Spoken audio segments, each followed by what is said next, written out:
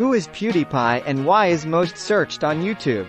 Felix Arvid Ulf Kjellberg born the 24th of October 1989, better known as PewDiePie, is a Swedish YouTuber known for his Let's Play videos and comedic formatted videos and shows. Kjellberg's popularity on YouTube and extensive media coverage have made him one of the most noted online personalities and content creators. He has been portrayed in the media as a figurehead for YouTube, especially in the genre of gaming. Early life and education Felix Arvid Ulf Kjellberg was born on the 24th of October 1989 in Gothenburg, where he was also raised. He was born to Lotta Christine Johanna, born 1958 and Ulf Christian Kjellberg, born 1957, and grew up with his older sister, Fanny. His mother, a former Chief Information Officer, CIO, was named the 2010 CIO of the Year in Sweden. His father is a corporate executive. Internet career Kjellberg originally registered a YouTube account under the name Pewdie in December 2006, he explained that pew represents the sound of lasers and die refers to dying. After initially forgetting the password to this account, he registered the PewDiePie YouTube channel on the 29th of April 2010. Following his exit from Chalmers, his parents refused to financially support him, 16. So he funded his early videos by working as a harbor captain, selling prints of his Photoshop art, and working at a hot dog stand. 2013-2014, becoming the most subscribed user and continued growth. In 2014 alone, Kjellberg's account amassed nearly 14 million new subscribers, and over 4.1 billion total views.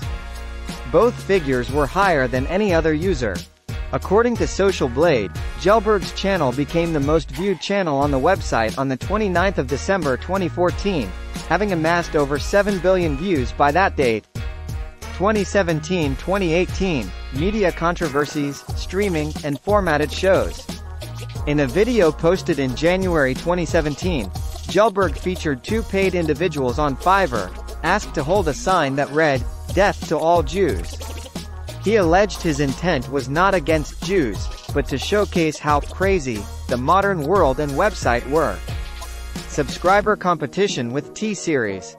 On the 5th of October 2018, Kjellberg uploaded a diss track against Indian record label T-Series titled, T-Series Diss Track, stylized in all caps and later renamed, Bitch Lasagna, in response to their YouTube channel being projected to surpass his in subscribers. The video went on to replace a funny montage as Kjellberg's most viewed video. 2018-2019 2019-2020, China ban, brief breaks, and content deals. In October 2019, Kjellberg stated in a video that his YouTube content, as well as content related to him on other websites such as Reddit, had been blocked in China. He explained that this was due to his comments about the 2019-2020 Hong Kong protests, and an image of Chinese President Xi Jinping being compared to Winnie the Pooh shown in a previous video. 2020 present, soft retirement and move to Japan. In November, Kjellberg uploaded a Q&A video reflecting on his YouTube career.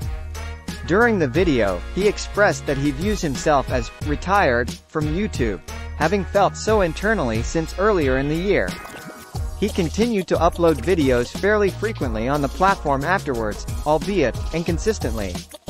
Subscribers and viewership media writers have noted that Kjellberg's content has been largely built up, methodically, as opposed to him having risen to fame through a viral video. At the same time, the growth of Kjellberg's channel has been described as rapid by various sources. Douglas Holt of the Harvard Business Review commented that, the power of crowd culture propelled Kjellberg to global fame and influence in record time. Many close to Kjellberg have described him as steadfastly loyal to his YouTube audience, with one calling him a little spectrumy in this regard. Income as a popular YouTuber and game enthusiast, PewDiePie has monthly income of around $2.5 million. Thanks for watching. Please subscribe my channel for more updates.